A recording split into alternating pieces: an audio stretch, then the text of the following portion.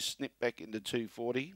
Float away's at a nibble at odds, 18 into 12. Green light on, no more bets. Set to go, here's race six.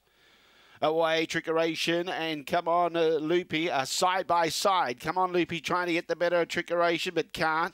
Holding the inside well. Our Collision goes to third. Well back behind those was Tolga. Subjective Boomers being passed by Santano. Float away, and out the back was Aston Bardo. In the meantime, Trickeration's holding the lead. Come on, Loopy, struggling to catch her. Trickeration's going to be too good. Inside advantage was a good thing. Second, come on, Loopy. Third was Our Collision, and Santano got there for fourth. Behind those, Subjective Boomer float away. Well back was Aston Bardo and Tolga at the tail end of the field. The time was around 23.20.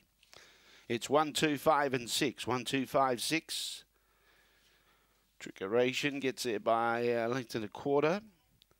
By four and a half. It was a good battle in the betting and it was a good battle in the race as well. But Trickeration had the advantage of the inside and she had the speed to stop Come On Loopy.